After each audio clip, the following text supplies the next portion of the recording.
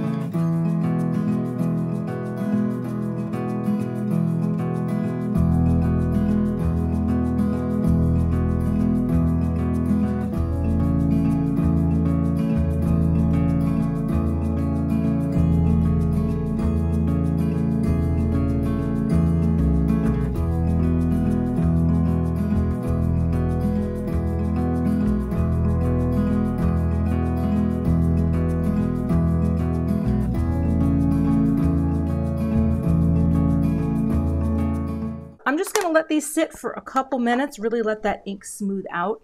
And then we are going to cut a flower from each one. So next we're going to cut out the base of the flowers. So just put that there. I think I am going to take a little of the super low tack tape and see if I can just keep it right die and there. That way it won't shift. And then we'll go over and run this through the machine. Place this down and I cut into one plate only, right? And then I'll, I'll flip it every other time. I think I'll just keep it this way for now. Let's run that through. Let's see what our first flower looks like. Pop you up and out. Oh, that is just beautiful. Look at that. Isn't that pretty? So we'll do the same thing. I think I can reuse this tape too. Uh, I'm going to get a little more yellow on this, maybe a little less green. I guess the angle on each didn't really matter. Flipping the plates around. That tape is working great. Take that off. Another pretty flower. Ooh, look at that. How much purple do I want? I, I, I'm going to split it. I love the transition. Oh, but we got to put this on the proper plate. And for this, we keep it upright this way. But again, get in the habit of flipping your plates every time. But with this sandwich, I always cut into the green plate. I learned that from Jennifer McGuire. And if it's good enough for Jennifer, oh, it's way good enough for me. And we are, we are, we are making some beautiful blooms. All right, let's go back to the table. Do I want to do outlines on this? Let me make my card base first and get this first layer on before I figure out the rest of the design. I'm gonna make my note card. This is 11 inches, four and a quarter, and we'll just score this right at five and a half.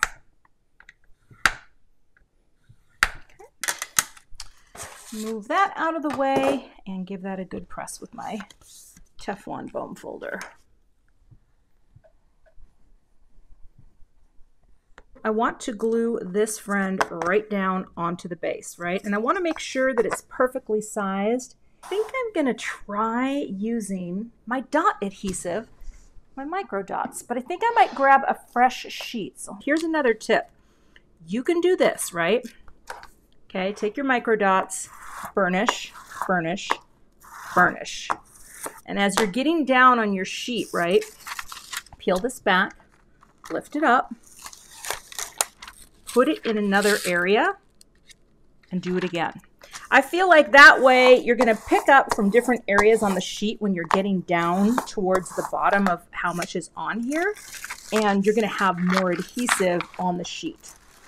And actually, I can see that all over the back. Okay, I'm going to show you my little hack for lining things up. If I'm doing a full panel card, bring in your Scor Buddy or your Misti or whatever you have just to kind of Oh, you know what? I don't know if that is sticky enough. I don't feel enough stick on there. I'm going to put a little ex I think I used a sheet that was just a little. I'm going to add just a thin level of glue around the edges. I think it was almost to the end. So we're just going to do that really quick. We will press it right into the corner like this and this, and that is the fastest way I know to line this up on the card base. Okay. I am not sure if I want to do this outline. In fact, I don't. I am not going to use these on this one. I just want it to be filled in basically like this. And what I'm going to do, I am going to put foam squares on the back to give this a little dimension. I want to have a bit of dimension of these little flowers, so I'm going to put the little Simon Says stamp foam squares on each petal. And here's what I'm thinking for a greeting. I have been doing really minimal greetings lately with uh, this friend, and I'll be sure to pop a card up if you want to see some of those other clips. But I like this look of having a really minimal black and white sort of greeting. And there's all kinds of things. I could do just a simple thinking of you. In fact, I might just do a simple thinking of you. Hope your summer is cool. Uh, you're just beachy keen. We need a pool date. Like any of these would actually work if you were sending a card. Happy summertime. That would be cute. Chill vibes all around. These flowers are kind of hippie like, aren't they? Hmm. You know what? I think I'm going to go ahead and cut that out. So let's get that set up. I'm not going to glue those in yet because I'm not 100% committed. I still might shift it back, but I am going to come in here, use the smallest friend, that one, and again, take my super low tack tape, or what is it called? Very, very low tack tape, because you don't you don't want to tear up anything, right? But here's the beautiful thing about this tape. It is very, very low tack, so it's not going to lift up the ink from these sentiment strips. And these, these dies are really designed to cut these out perfectly so you don't lose the other greetings on the piece. So I'll go ahead and just run that through over on the Gemini and I'll be right back. I think chill vibes all around could be cute. I think Miss Ya Lots could be cute. There's a lot of ways we can go. So I'm going to cut them both. And of course, anything I don't use, I just gather back up and pop into my little clear pocket. These are so great for sentiment strips. Okay. And then I just label mine with whatever it's called, set that aside for another project. The reason I like Chill Vibes, it kind of has this, um, maybe a little bit of a Partridge Family vibe, you know? Hello world, there's a song that we're singing. Come on, get happy. Thank you. Gosh, I love that show, David Cassidy. He was my jam. In fact, that was one of the very first record albums I ever had. I had a Sesame Street album first. Bob McGrath sings Sesame Street, and then I had uh, the Partridge Family greatest hits. Okay, if you uh, if you're still watching and you know who the Partridge Family is, drop me a comment that says David Cassidy. Okay, I don't know which one I want to use, but I do think I like this arrangement. And what if I did just do chill vibes all around, dead center? You know, that's that's really cute. That's what we're doing. Miss you lots. Whatever. I can send this to my bestie in California because she loves chill vibes. And uh, well, you know, she does know the Partridge Family, I think. But here's what I'm to do. I just coat this, well, let's see. I'm coating the side because these are printed on white cardstock. That's what a reverse is. That's black ink on white cardstock, right? But I will fill in the sides with an alcohol marker. And I like alcohol markers because they don't, they dry instantly. You know, it's not leaving ink all over everything. And so now, nice, and it looks like it's just all magic white type on black. Okay, right like that. Okay, there's my chill vibes all around. And now I just need to add these friends in. So I will take all the backers off. And we like that. I don't think I'm going to put um, any liquid on here because I just am going to drop them into place and I think I can handle it. And we come in with yellow, because again, we're following that rainbow. Popping it right there. Not hard to line up at all. And now again, we want the blue to be facing up. Oh, so that it continues our beautiful rainbow pattern. Is that fun? See that? Now look. It's got just the littlest bit of like dimension. I could have popped it up a little higher, but I actually think this is pretty cool just as is. So let's go ahead and get ready to add chill vibes all around. I'm not going to put uh, foam squares there. It, I run the risk, I know, of it getting a little flattened, but I feel like I would need to possibly double it up because of the extra height. So I am going to roll the dice, do a little liquid glue on these foam squares so I have a second before I have to commit. Although that's, that's a lot, Kath. You kind of swirl that around a little. Now I can bring in my ruler. I can press it right against the edge there. That way, when I place this down, although you know what, this is not a hard one to place down, right? This is like, this is like super easy. Just come in the center like that let go. Let go. Make sure it's about the same from side to side. Does that look about the same? And bring it up like that. Press. And we're just going to let that adhere. So cute. Chill vibes all around. Love it. Now let me think if there's some bling that I can add. I thought I would just put sequins where the flowers intersect. In hindsight, I may squeeze one in there and I'll show you that in a second if I change my mind. Oh, sun's, sun's going down. But let's just put them in the middle just for a little, boop. Oh, there was two there. for a little neutral shine. Boop. You know what else would have been cute with this is to do a, boop, like a glitter panel of cardstock underneath that would have been kind of over the top and fun, I think. But this just is a little, boop, a little fun, right? Just a little extra shine. Boop.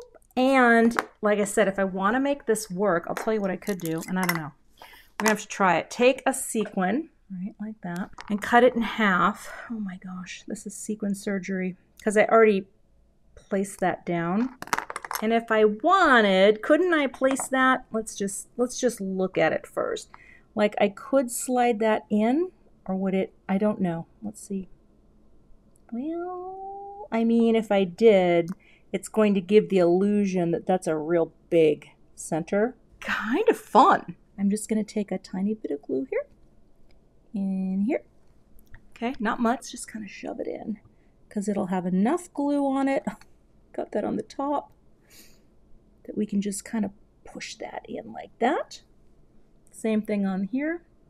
Forgive me, I'm going to turn this because I want to be able to see what I'm doing. And we'll just kind of squeeze that there. I don't even think if I would have had a sequin there, it would not have shown.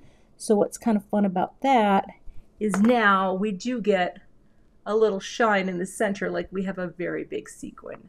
Ah, and that's the finished card project. I love simple ink blends, but basically what is essentially more of a die cutting kind of card. But look at how smooth the inks are now that they've dried. I mean, and it looked like a blotchy mucky muck, but that is a gorgeous rainbow, so simple. And I hope this inspires you to check out some of the new products that are out today. I had so much fun making this card.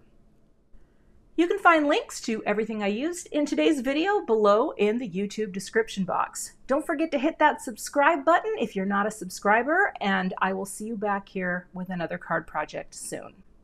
Don't forget to hit that subscribe button if you're not already a subscriber. I would love to have you. Here I've got a couple more videos with some simple rainbow blends and ink blends for you to check out and watch some more content here on my YouTube channel. Thanks so much for being here, and I'll see you in the next video.